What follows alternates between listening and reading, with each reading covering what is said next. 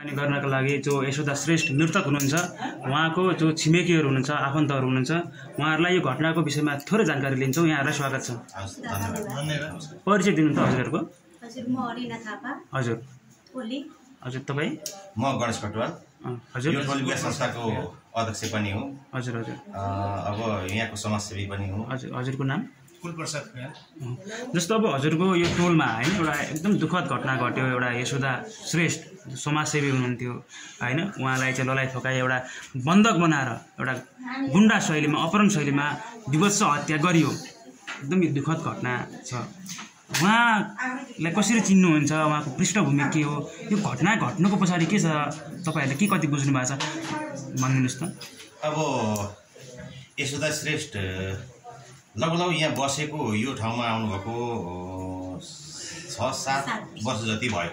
हजुर। उहाँ आएदेखि पहिला उहाँ आए पछाडि यहाँ यो टोलको म अहिले यो टोलको अध्यक्ष छु। हजुर हजुर। उहाँ आएपछि योभन्दा का अघिल्लो कार्य समितिमा उहाँ यो संस्थाको सदस्य पनि हुनुहुन्थ्यो। हजुर हजुर। अ, उहाँले यो टोल विकास संस्थालाई यो अहिले जुन यो स्थितिमा पुर्याउनु भएको छ उहाँको पनि योगदान छ। र उहाँ यस्तो व्यक्ति हुनुहुन्छ आज यो टोल विकास संस्थाका संस्थामा हामी चौरासी पचासी घर छौँ। यति मिलेर बसेको यति सुन्दर यति शान्त टोल विकास संस्था छ यो। यसमा उहाँले गर्नुभएको योगदान निकै ठुला छन् अब यी बाटाघाटादेखि लिएर हरेक क्षेत्रमा उहाँको उपस्थिति छ। अब यहाँ अन्याय अत्याचारमा परेका कोही छन् व्यक्तिहरू भने पनि उहाँलाई हामी लिएर जान्थ्यौँ। ल यसो त बहिनी यस्तो पऱ्यो भनेर भन्थ्यौँ। उहाँ गएर पनि जायज तर्क गर्ने जायज कुरा गर्ने एउटा यहाँको एउटा चाहिँ भनौँ न अब यहाँको यत्रो टोलवासीहरूले चाहिँ उहाँलाई एउटा आँखाको नानी सम्झिन्थे होइन? आज उहाँ हामी माझ हुनुहुन्न। हामीले उहाँ नभएको एउटा चाहिँ महसुस चाहिँ एकदम हृदयबाट महसुस गरेका छौँ।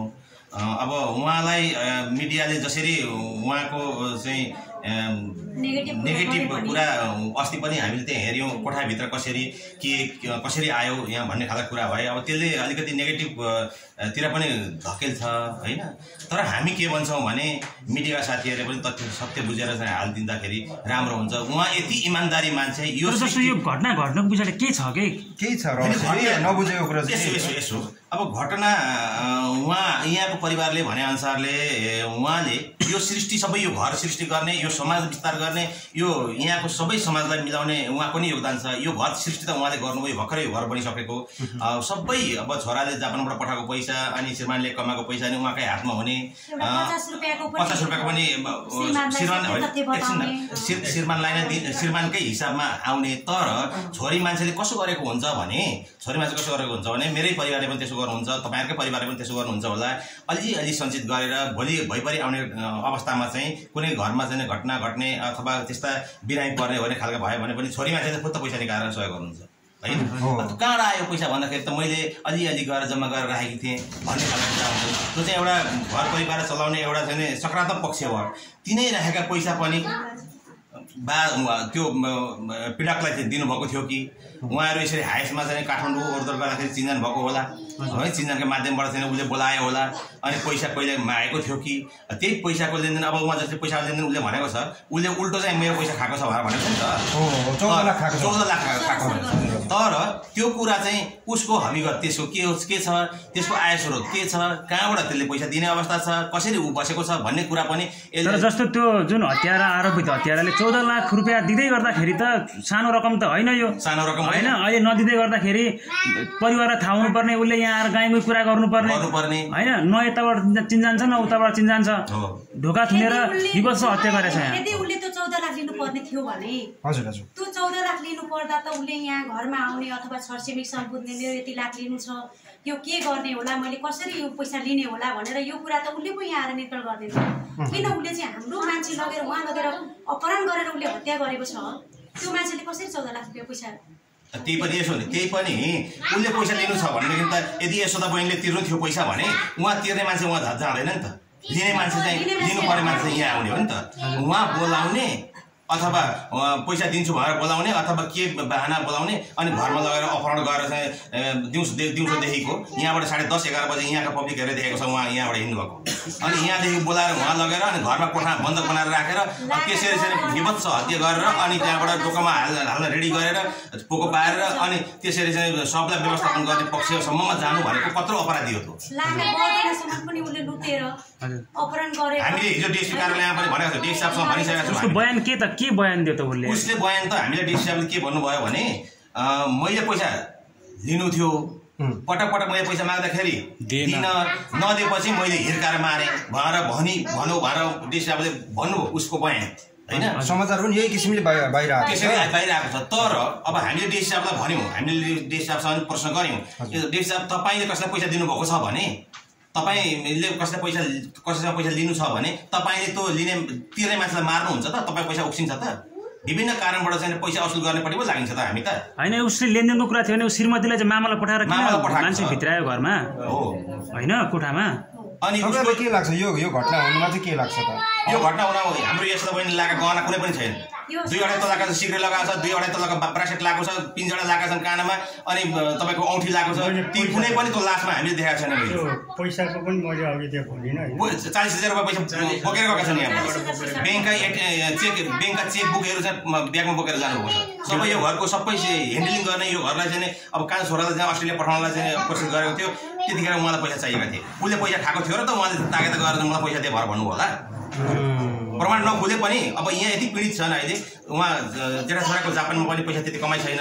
दाईको पनि एउटा सेक्युरिटीको र पेन्सनको कुरा मात्रै छ।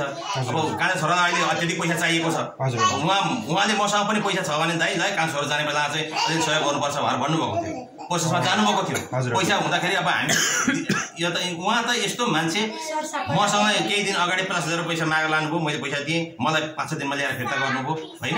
अब पैसा तिर्नेमा र दिने कुरामा यति चुस्त दुरुस्त हिसाब राख्ने यो परिवारलाई अहिलेसम्म यो ठाउँमा ल्याउने यो समाजलाई व्यवस्थापन गर्ने सबै कुरा गर्ने मान्छे अनि उसले चाहिँ चौध लाख रुपियाँ यसोलाई खाइ भनेर भन्न उसलाई सरम लाग्नुपर्ने। कसरी बोल्यो त मान्छेले? अनि जस्तो अरू के के बयानमा चाहिँ के के भनेको छ जस्तो कुटपिट गर्न सुरु गरेँ मैले भन्ने खालको कुरा त्यस्तो कुरा हामीलाई डिएस साहब केही गर्नु भएन। मैले अनि उहाँले त्यति भनिसके पछाडि डिएस साहब यो कुरालाई कहीँ पनि राजनीति नहोस्। डिएस साहब हाम्रो अनुरोध छ। जे छ त्यसलाई अनुसन्धानमा चुस्त दुरुस्त ल्याएर तपाईँले कारवाहीको दायरामा ल्याउनुपर्छ र दोषी को को छन् त्यसलाई पनि पत्ता लगाएर हजुरले अनुसन्धानमा पत्- पत्ता लगाएर हामी पीड- पीडितलाई न्याय दिने वातावरण तपाईँहरूले बनाइदिनुहोस्। हामी नभएदेखि जस्तो आजको दिनमा कुनै पनि राजनीति चलखेल नहोस् भन्नका निमित्त हामीले हिजो घटनास्थलमै गएर स्थलगत रिपोर्ट गरेका छौँ र आज तपाईँहरू पीडित हुनुहुन्छ। पीडितको आवाज हामीले बुलन्द राखिदिएका छौँ। होइन? मैले अहिले पनि भने होइन? जो यशोदा श्रेष्ठ मृतक हुनुहुन्छ उहाँ जीवित भएर त आउनु सक्नुहुन्न तर उहाँको न्यायको लागि उहाँको न्यायको पक्षमा मलम लगाउनको लागि हामी तपाईँहरूको यो कुरा राखिरहेका छौँ। हजुर। अब यहाँहरू यहाँहरूले हामीसँग यसरी इन्टरभ्यू लिँदै गर्दाखेरि हामी अहिले सीमित इन्टरभ्यू दिन त सीमित मान्छे छौँ होइन? यशोदाको त भौतिक शरीर त हामीसँग छैन रहँदैन अब आउँदैन तर यशोदाको आत्मा त पक्कै पनि यो सृष्टिमा घुमिरहेको छ होइन? यो यो यशोदाको आत्माले शान्ति पाउनु भनेको यो टोलवासी यो टोलका एक डेढ सय घर परिवारका आत्माले तपाईँहरूलाई चाहिँ एउटा चाहिँ धन्यवाद दिन्छ होइन? तपाईँहरूलाई आशीर्वाद दिन्छ। त्यसका लागि पनि तपाईँहरूले भरपुर सहयोग गरिदिनु होला हामीलाई। हामी अन्याय परेको मान्छे हामी पीडितलाई कसरी हुन्छ तपाईँहरूले एकदम चुस्त दुरुस्त हामीले जे जे बोलेका छौँ तिनै तिनै मात्रै शब्द तपाईँहरूले लेखिदिनु होला तिन शब्दलाई हाइलाइट गरिदिनु होला र त्यो पीडकलाई हामी जस्तै कडाभन्दा कडा सजाय अब नेपालको कानुनमा त अब जति छ कानुन त्यति नै कानुनमा जति छ त्यति मात्रै सजाय हुने हो। तर पनि हाम्रा लागि चाहिँ त्यो कानुनलाई संशोधन गरेर त्योभन्दा नि अझै कडा कानुन कानुन आइदिएदेखि हुन्थ्यो भन्ने हाम्रो मान्यता हो। तर त्यो हुँदैन होइन? अब